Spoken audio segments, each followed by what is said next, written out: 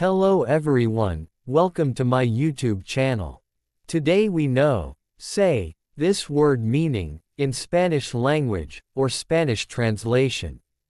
Say, this word meaning, in Spanish language is Decir. Decir. Decir.